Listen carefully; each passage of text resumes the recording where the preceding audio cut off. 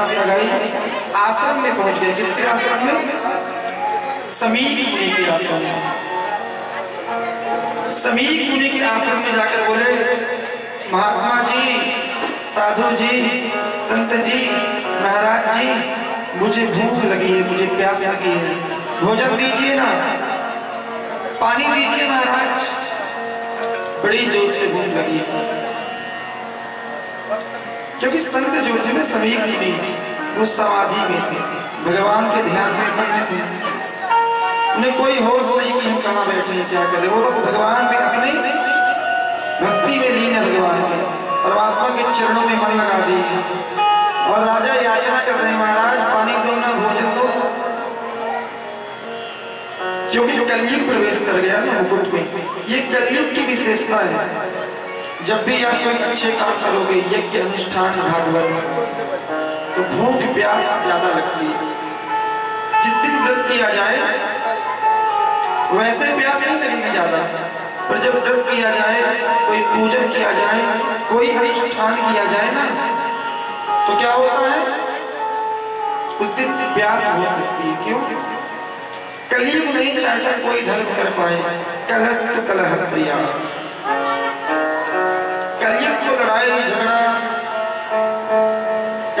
है कलयुग नहीं चाहता पूजा हो, पाठ हो, भजन हो, धर्म हो। तो राजा परीक्षित को क्रोध आ गया। क्या बोले? ढोंगी बाबा मालूम होता है, लगता है ढोंगी है, मुझे देख करके आँखें बंद कर दिया। अरे महात्मा जी, अरे पंडित जी, साधु जी, संत जी, आप हमारे यहाँ तो बाबा कितना खिलाते हैं आपको। पानी पिलाते हैं, भोजन कराते हैं, फल खिलाते हैं। दक्षिणा भी देते महाराज दक्षिणा पानी तो पिला दो। कोई जवाब आया नहीं, क्योंकि साधु तो समाधि में बैठे भगवान के ध्यान में मग्न हैं। और ध्यान दीजिएगा, जिसका मन भगवान के चरणों में लग गया, जो भगवान का हो गया, जो श्री ठाकुर जी का हो गया, वो दुनिया में क्या हो रहा है, इसे कोई मतलब नहीं। तो राजा ने सोचा, ढोंगी बाबा मालूम होता है तो राजा ने क्या किया? राजा ने एक मरा हुआ सर को उठाया और जाकर के गले में डाल दिया। यदि सचमुच महात्मा जी की समाधि होगी भगवान के ध्यान में होंगे, तब तो नहीं उठेंगे। और यदि ढोंग कर रहे होंगे तो उठ के भाग जाएँगे, जैसे स्नान डाले तो क्या हुआ? साधु ऐसी समाधि में बैठे, क्योंकि उनकी सचमुच समाधि ही लगी थी। और राजा परीक्षित चले गए महल में। और जाकर के जैसे ही मुकुट को उतारे मुकुट के उतारने सारी बातें याद आ गई हे भगवान, मैंने क्या कर दिया? जो काम मेरे पूर्वजों ने, मेरे पिताजी ने, मेरे बाबा ने, मेरे परबाबा ने, मेरे खानदान में मेरे कुल में ये काम कोई नहीं किया। किसी संत का, ब्राह्मण का, साधु का, किसी व्यक्ति का, कुमारी कन्या का, गरीबों का मैंने कभी मेरे परिवार में, मेरे कुल में कोई तिरस्कार नहीं किया।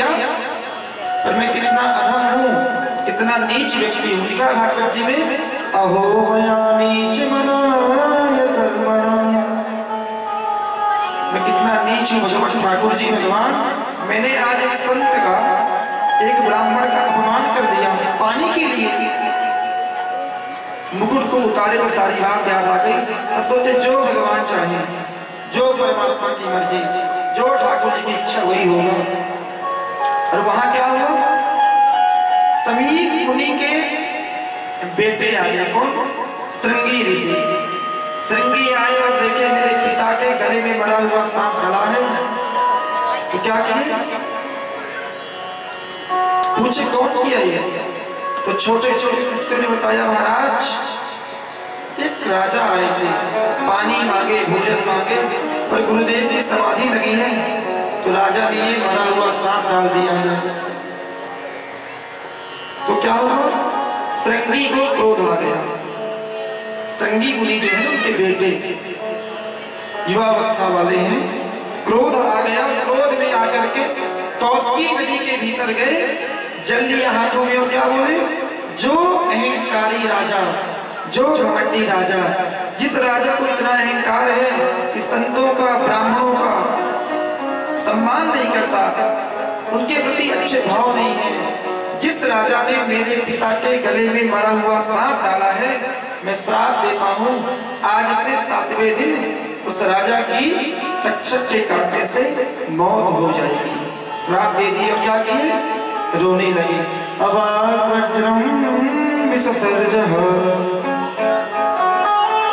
बोल दिए। वाणी से श्राप दे दिए। रोने लगे तो समीक की आँखें खुल गई। बेटा, क्या हुआ? क्यों रोते हो? अरे पिताजी, आपके गले में मरा हुआ सांप डाल दिया, राजा। कोई बात नहीं, बेटा। राजा ने सांप ही तो डाला। अरे, हम संत हैं, हम ब्राह्मण हैं, हम साधु हैं। कोई हमारा सम्मान करे तो ज़्यादा खुश मत हो। और कोई हमारा अपमान कर दे तो दुखी मत होना। अरे, राजा ने कोई बात नहीं, सांप डाल दिया और समीक ने सांप को हटा दिया। बोले, कोई बात नहीं। तो संगी कहते पिताजी मैंने ऐसा दंड दिया है। मैंने ऐसी सजा दी है कि राजा आठवां दिन देख नहीं पाएँगे क्या किया तुमने। मैंने श्राप दे दिया है।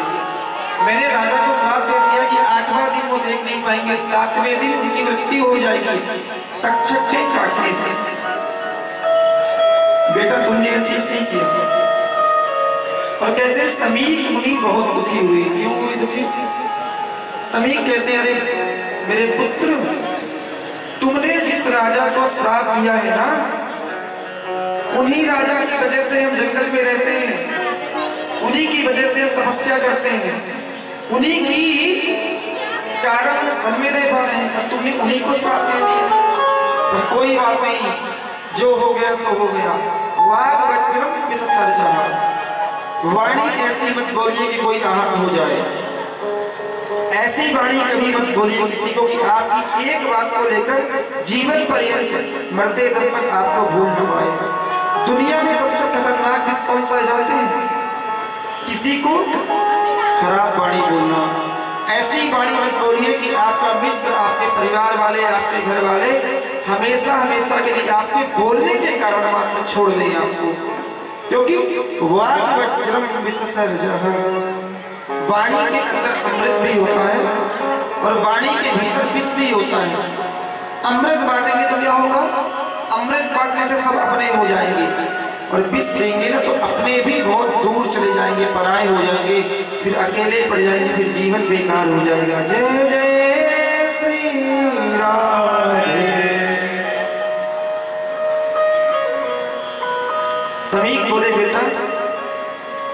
दे दिए, पर राजा को बता तो दो कि आपको सजा मिल चुकी है। तो दो छोटे छोटे शिष्य गए।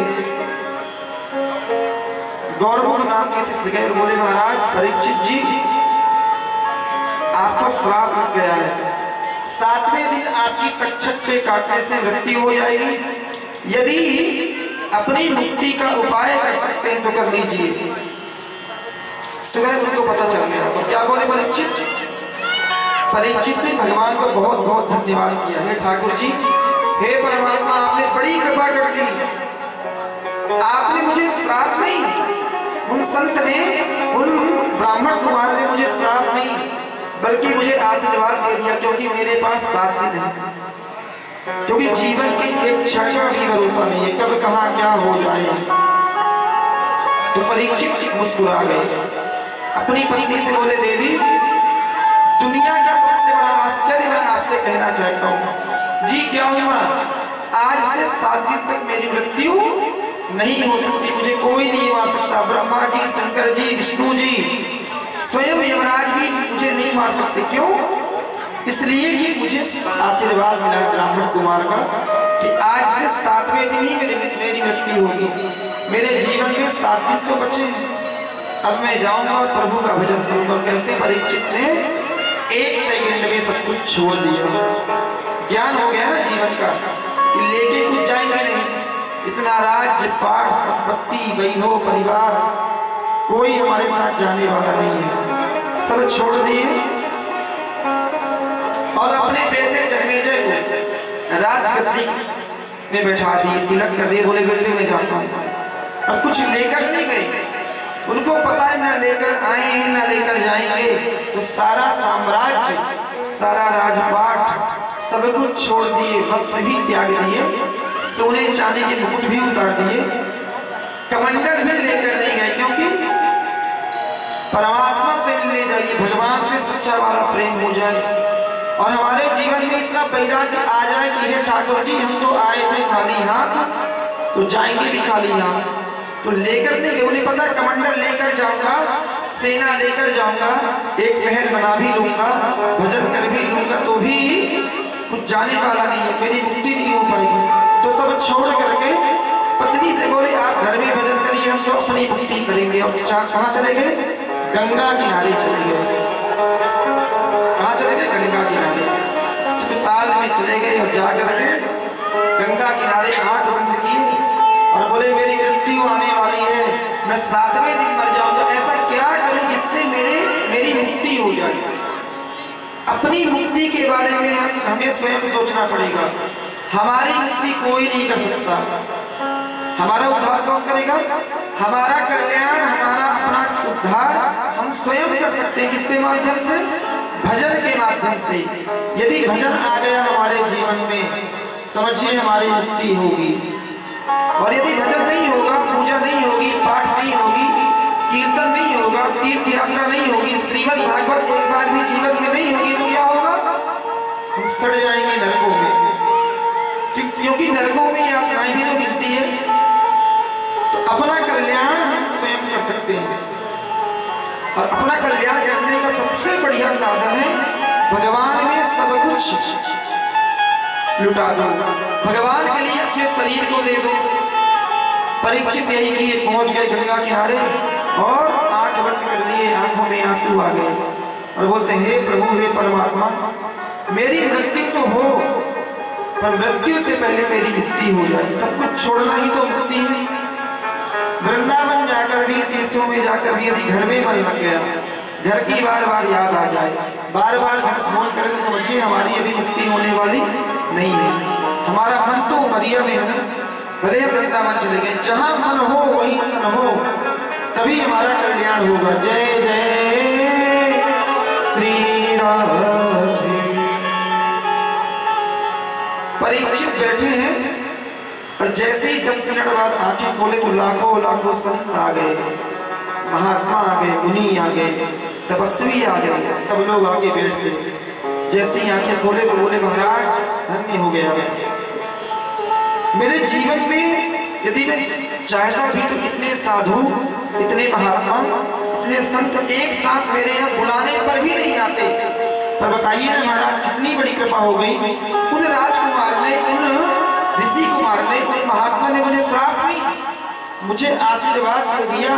तभी तो उसके, उनके आशीर्वाद से आप मेरे सामने आ गए। गिरेगा समागमा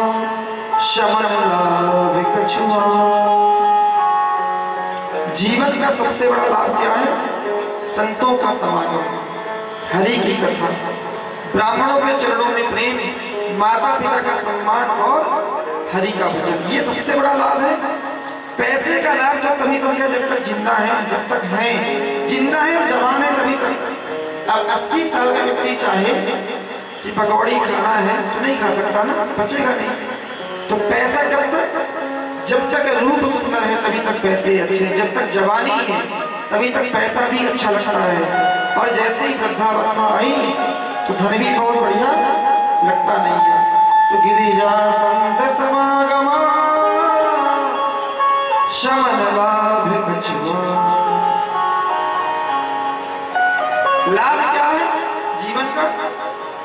परमात्मा के चरणों में मन हो भगवान के प्रति सोचना गोस्वामी जी कहते हैं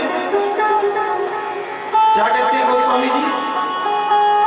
हरि व्यापक सर, वज्र समान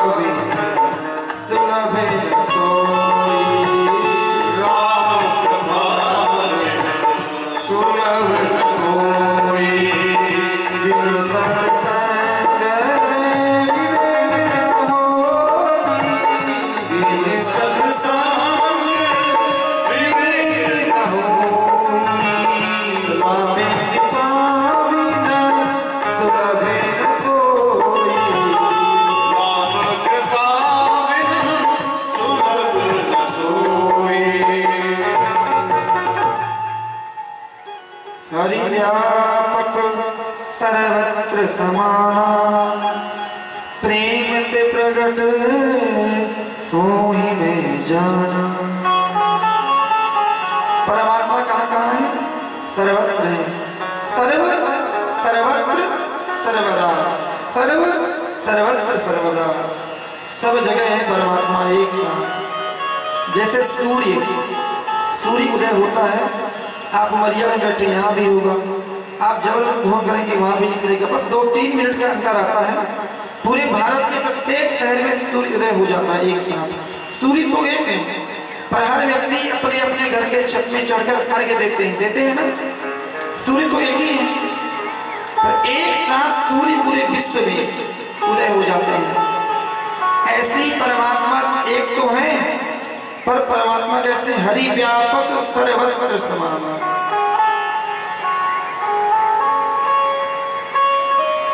हरि व्यापक सर्वत्र समाना परमात्मा तो कण कण में है। आपके घर में, हमारे घर में कण कण में है, सबके हृदय में पर प्रेम प्रगट हो ही नहीं जाना। जीवन में सरलता नहीं है प्रेम नहीं है, अच्छी वाणी नहीं है, अच्छे भाव नहीं है तो फिर भगवान हमारे घर में बैठे हैं, पर सच वाणी भगवान मिलने वाले नहीं है। प्रेम के प्रकट हो ही नहीं जाना, और विनु सत्संग विवेक न हो। आप बुद्धिमान सही कितने हो? कितने भी बुद्धिमान हो, कितने भी धनवान हो, कितने भी पैसे वाले हो पर जो बिनु सत्संग विवेक न होई बिना सत्संग किए, बिना भागवत में गए, बिना कथाओं में गए, बिना कीर्तन में गए। भगवान की कृपा तो नहीं होगी। विनु सत्संग विवेक न हो राम कृपा बिन सुलभ न सोई। राम की कृपा पाना है तो क्या करें? प्रेमी बन जाए और सत्संग में जाए। या तो घर में ही बैठकर सत्संग करें, या सुने, या भगवान का कीर्तन करें तो हमारा कल्याण हो जाएगा। परीक्षित ने इसीलिए घर को छोड़ दिया। जानते हैं, यदि घर में रहूँगा तो पत्नी, परिवार, बच्चे, नाती, पोते, पड़ोसी, मोहल्ले वाले सब देखने आएँगे महाराज महाराज महाराज, आप तो सात दिन बाद मर जाओगे। इतने देखने वाले आएँगे मुझे मुझे एक क्षण भी परमात्मा का भजन करने का समय नहीं मिल पाएगा, इसलिए गंगा किनारे चले गए। और कौन आ गए? संत आ गए। संतों ने पूछा, महाराज, क्या करें आपके लिए? तो बोले, महाराज, ये बताइए, सात दिन में मरने वाले की मुक्ति का उपाय क्या है? सात दिन में जिस, जो मरने वाला उसके मोक्ष का उपाय क्या है? हज़ारों लाखों संत बैठे हैं पर कोई निर्णय नहीं कर पा रहा है। नारायण पद्मभवम वसिष्ठम।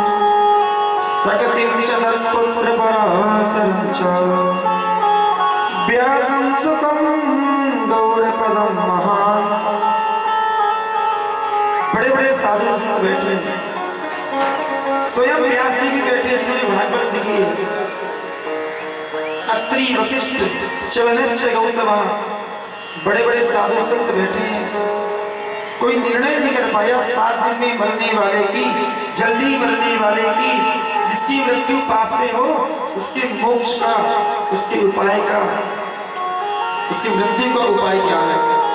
मोक्ष का उपाय क्या है?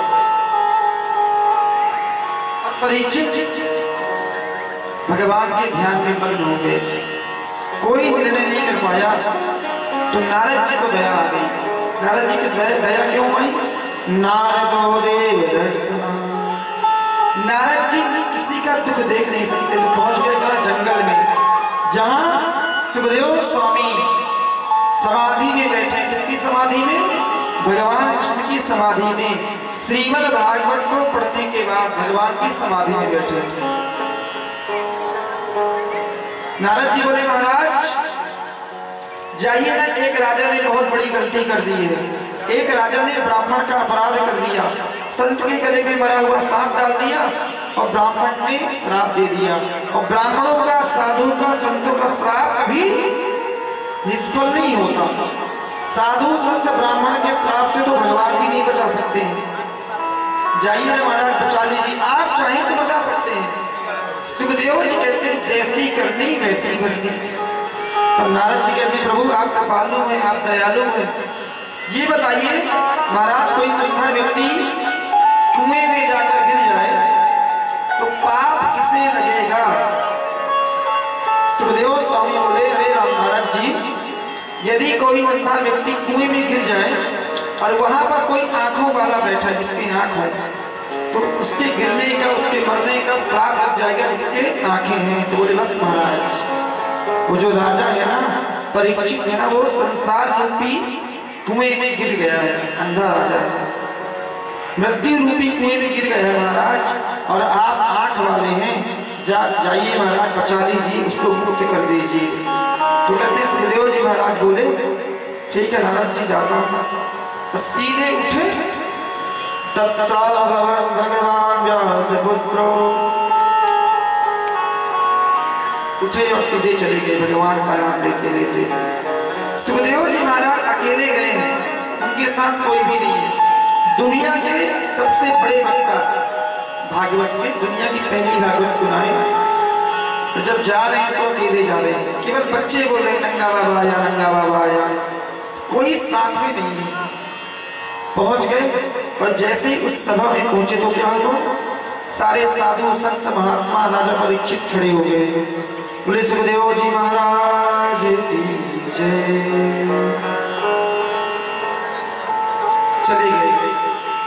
और सुखदेव जी कैसे जाते हैं?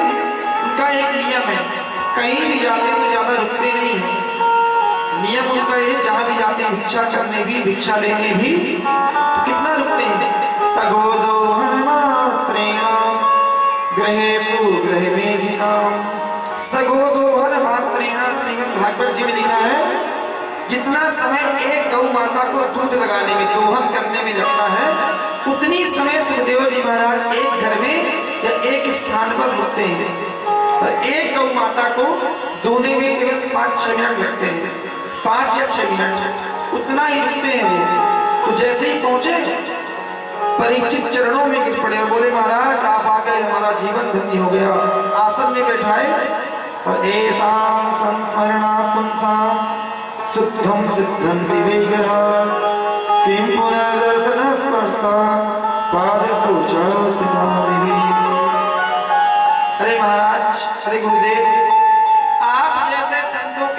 के से हमारे जीवन के अनंत जन्मों के पाप हट जाते हैं। किं पुनर्दर्शन स्पर्श पाद शौचासना देवी आपके स्मरण मात्र से हमारे सारे पाप मिट जाते हैं और आपके दर्शन हो गए तो हमारी मुक्ति तो हो ही गई। सुखदेव स्वामी को बैठाया गया और राजा चरणों में गिरे पाद प्रक्षालन किए, पैर धुले पुष्पमाला पहनाई, चंदन लगाई, चरणों में दंडवत दे दिए और आँखों में आँसू आ गए। और बोले, महाराज, एक प्रश्न करूँ? सुखदेव जी मुस्कुरा गए बोले, राजा, पूछो। तो बोलते हैं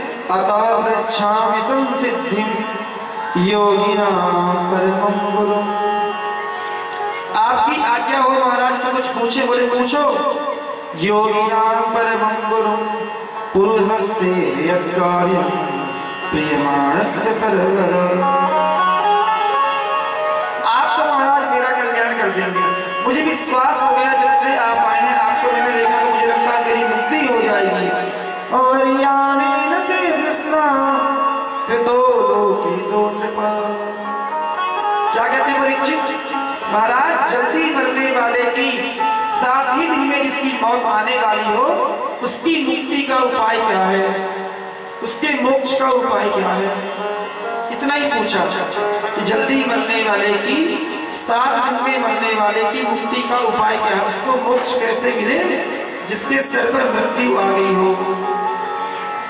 सुखदेव स्वामी मुस्कुरा गए और बोले, राजन, जो तुमने पूछा है, पूरे समाज के लिए, पूरे विश्व के लिए, सबके लिए पूछा है। मैं तुम्हें इसका उत्तर दूँगा और चरणों में गिर पड़े राजा। और कहते हैं, सुखदेव स्वामी ने कथा सुनाना आरंभ कर दिया। बोले, सुखदेव जी महाराज की जय। तो आइए चलते हैं सुखदेव के चरणों में। हरि की कथा सुनाने वाले हरि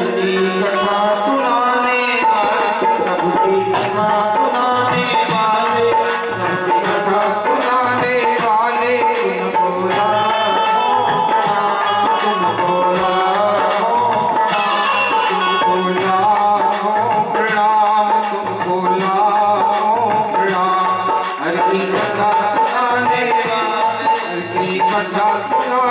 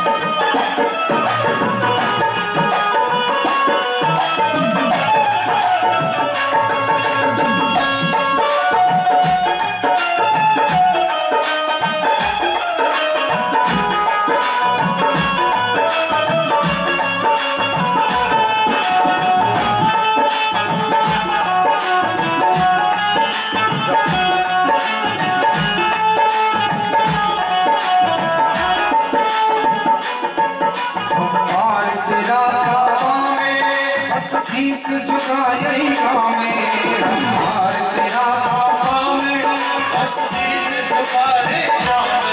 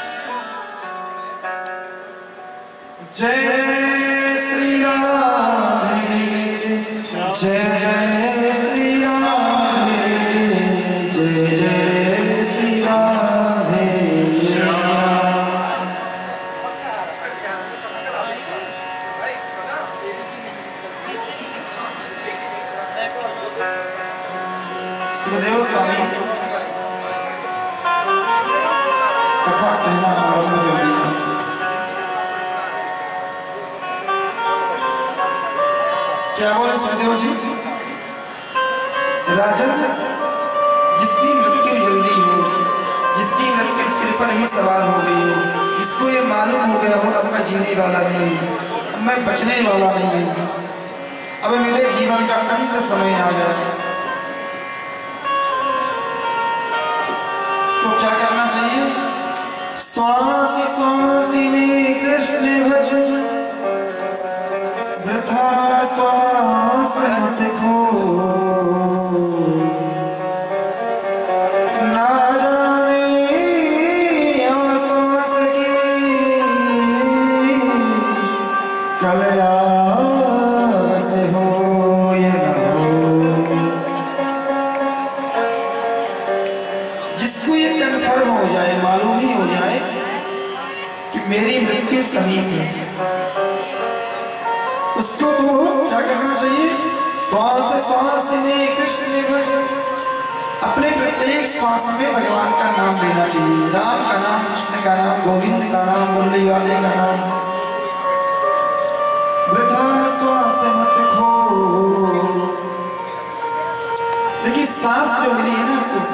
वो फिक्स मिली है सबको। कितनी लाख कितने करोड़ सांस आपको जीना है वो क्लियर है। वो जब जन्म हुआ ना, तभी हमको मिल गई अब जल्दी आपको कोई सौ रुपए दे और बोल दे, आपको सौ रुपए को दो दिन चलाना है। अब आप चाहो तो एक सेकंड में खर्च कर दो, और आप चाहो तो दो दिन चला लो। आपके पास सौ रुपए ऐसे जीवन के सांसों की गिनती मिली है।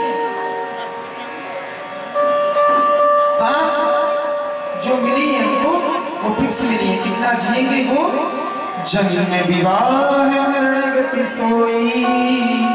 वो स्वामी जी कहते हैं ना जो जैसे लिखाई तहाँ से हुई। श्वास हमको बराबर मिली है। मृत्यु का समय आएगा तो एक सेकंड भी नहीं मिलेगा। एक कोई बहुत बड़े सेठ जी थे, सेठ जी, बहुत पैसे कमाए। अब देखिए, पैसा कमाना आवश्यक तो है। पर व्यक्ति को नशा होगा, कुछ लोग क्या होता है? दिन भर पैसे बातें करते दिन रात कुछ बस पैसा पैसा पैसा। न परिवार के लिए समय, न मंदिर के लिए, न घर के लिए, न भाई के लिए, न बहन के लिए। जब पूछो, उस दुकान में लगे पैसा पैसा पैसा। बच्चे कब बड़े हो गए, शादी का समय आ गया, लेकिन याद ही नहीं। बस दुकान दुकान तो एक सेठ जी थे बहुत पैसा कमाए। इतना पैसा कमाए कि उन्होंने कोई पुण्य नहीं किया। हाँ पाप भी नहीं किया उन्होंने। उन्होंने किसी का छीना भी नहीं, खाया भी नहीं और पुण्य भी नहीं कर पाए, मंदिर जा नहीं पाए। अभी क्या हुआ? उनका अंतिम समय आ गया। पाप नहीं किए थे तो युवराज सीधे आगे बोले, महाराज, सेठ जी, चलिए, आपका समय पूरा हो गया। बोले, भैया मंदिर जाओ, मुझे भी तो मैं पचपन साल का हुआ हूँ। मैंने पूरी जवानी पैसे कमाने में लगा दी इतना पैसे मैंने इकट्ठा कर लिया है कि मैं नगर नहीं नगर नहीं, प्रदेश का सबसे बड़ा सेठ बन गया। मेरे पास बहुत पैसे हैं। सोना, चांदी, हीरा जवाहरात हर बैंक में मेरे पचास पचास करोड़ रुपए हैं। मेरे पास इतना पैसा है, मैंने अभी ज़िंदगी जी कहा है। अभी तो मैंने कमाया है। यमराज के दूध बोले, महाराज, सेठ जी, आप चाहे आपका मन भी हो कि आप जीना चाहते हो, तब भी आपको एक सेकंड भी मिलने वाला नहीं है। अच्छा सेठ जी थे दुनिया वाले। उन्होंने सोचा, ये भी पैसे भी बिक जाएँगे। भाई, हम लोग यही तो जानते हैं कि चाहते हैं कि पैसा दो काम करवा लो। कोई भी अधिकारी, कोई भी कर्मचारी, कोई भी सरकारी अधिकारी बिना पैसे के काम नहीं कर पाए सेठ जी को लगा, जैसे मैंने दुनिया में सबको मूर्ख बनाया, पैसा दे दे करके, हर काम करवा लिया युवराज की दूध भी पैसे के तो क्या बोला? महाराज, मुझे सिर्फ़ एक हफ़्ते दे दो, पूरी संपत्ति, पूरा धन मैं आपको दे दूँगा। दूध बोले, ना ना ना, दुनिया के लोग बिक जाते होंगे। धरती वाले लोग नोटों के लिए गड्डी के लिए, कागज़ के लिए बिक जाते हैं, अपना ईमान बेच देते हैं, पर हम कौन है? यम के देते हैं। हमारी जो ड्यूटी है ना, हमारा जो नियम है, इसमें कोई समझौता नहीं करते।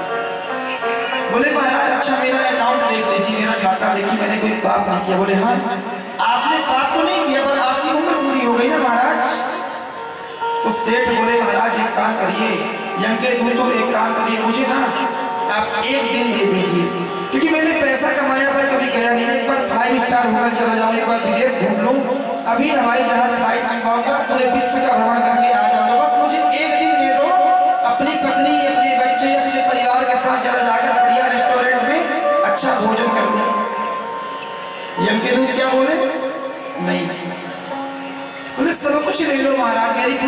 संपत्ति आपके नाम बोले, मरने के समय आप नहीं दे रहे हो, जीते जी कुछ कर लेते तो आपका कल्याण हो जाता चरणों में गिर पड़े सेठ तो यम के दूध बोले, आपको एक दिन क्या, एक सेकंड, एक क्षण भी ज़्यादा मिलने वाला नहीं है।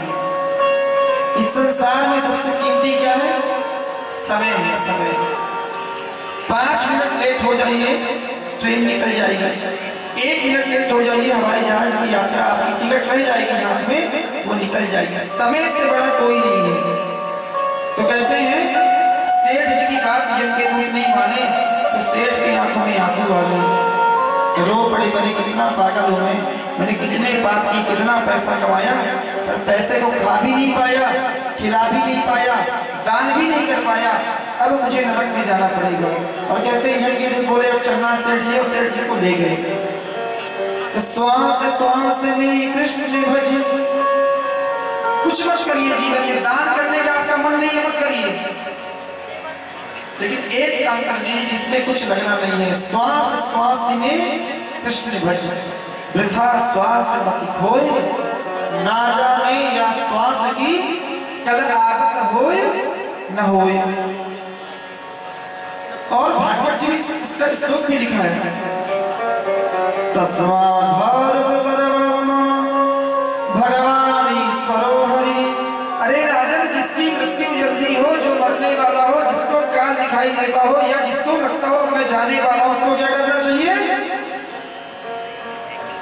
तस्मात् भारत सर्वात्मा। भगवान ईश्वरो हरि। श्रोतव्यः कीर्तितव्यश्च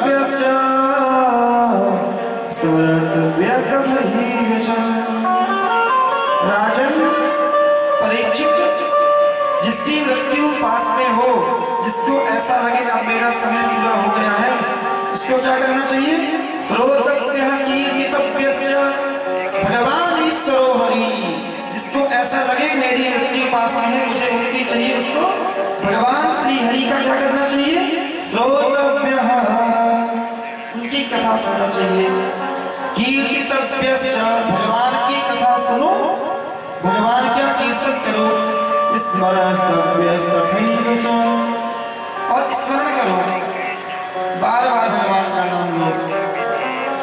प्रभु के नाम के सहारे हमारा जीवन बदल सकता है। प्रभु के नाम के सहारे हमारी मुक्ति हो सकती है। तो राजा जल्दी मरने वाले को भगवान का नाम लेना चाहिए। भगवान के नाम से बड़ा संसार में कुछ भी नहीं प्रभु का नाम लीजिए। नाम निष्ठ हो जाइए। नाम इतना जपिए इतना जपिए इतना जपिए कि आपको लगे कि हमारे पास सब कुछ है। राम नाम रूपी धन किसके पास है? राधा नाम रूपी धन किसके पास है प्रभु का नाम रूपी धन किसका किसके पास है, वही जा सकता है भगवान के धाम को। क्योंकि यहाँ तो पैसे चलते हैं रुपए चलते हैं, सोना चलता है चांदी चलता है वहाँ ना वैकुंठ में, स्वर्ग में। मृत्यु के बाद पैसे नहीं पूछे जाते, वहाँ पूछा जाता, आपने कितनी बार भगवान का नाम लिया? राम का नाम लीजिए, कृष्ण का नाम लीजिए। प्रभु का नाम रूपी धन होगा तो हमारा कल्याण हो जाएगा। और अपना कल्याण हम स्वयं करेंगे। कोई कराने वाला नहीं आएगा। हमारा कल्याण कौन करेगा? हम स्वयं करेंगे। किसके माध्यम से? गुरु के माध्यम से, विद्वानों के माध्यम से, श्रीमद भागवत के माध्यम से। नहीं तो क्या होगा? श्वास श्वास में कृष्ण भज क्या होगा?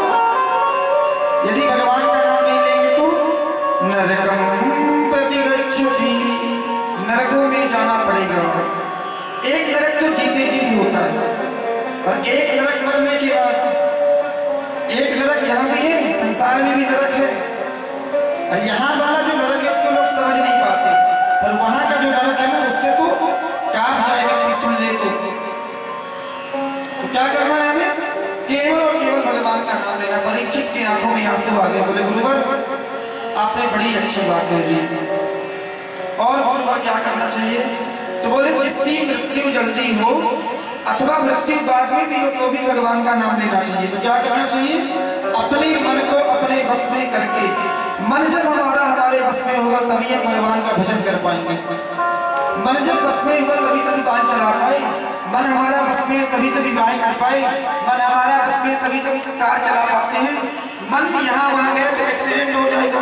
हमारा मन हर बार बस में हो जाता है। पर जब भगवान का नाम लेने का नंबर आता है तो मन हमारा यहाँ वहाँ चला जाता है। क्या करना चाहिए? मन को बस में करना हो, भगवान के चरणों में प्रेम करना हो तो क्या करना है और? जीता सनो जीता श्वासो जित संगो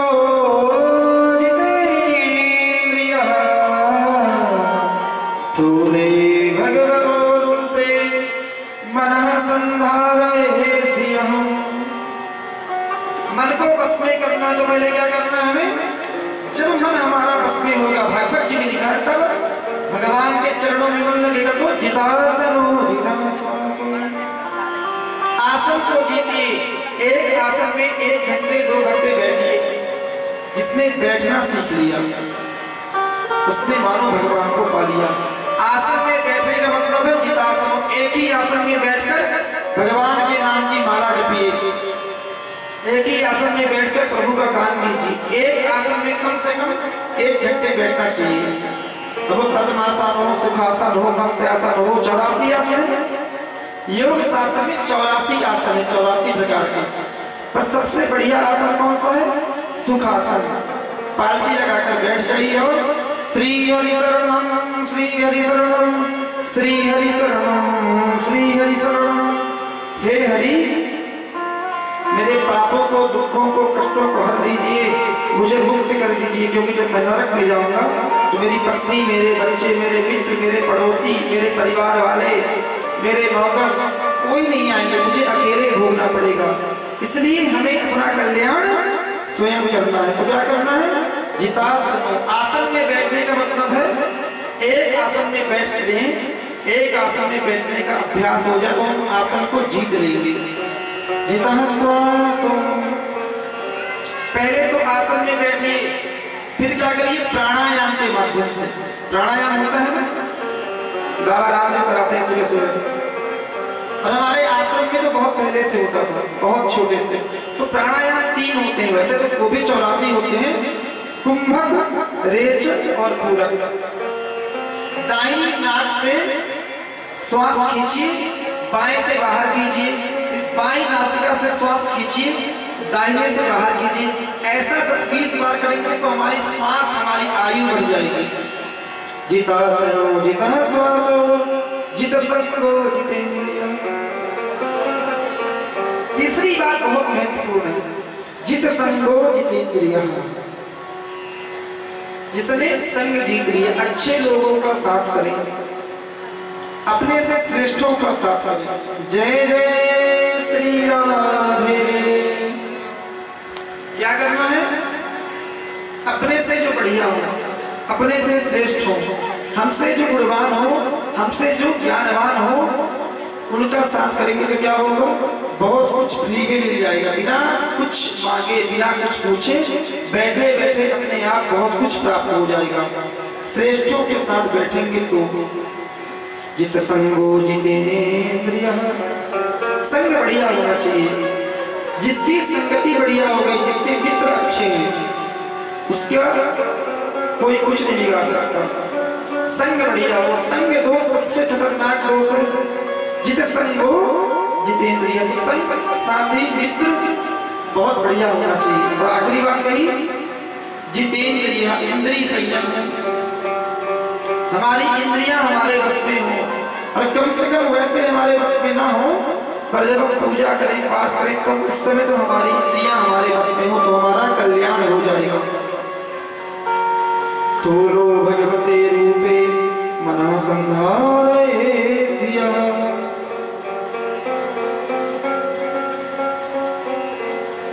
और क्या करें?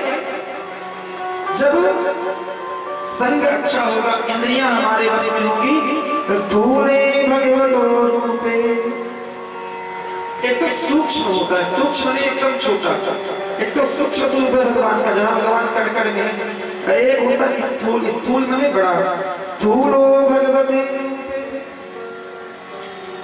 मना संधारयेद्य ऐसा मानिए कि पूरा संसार, पूरा विश्व, पूरा ब्रह्मांड भगवान ही का है।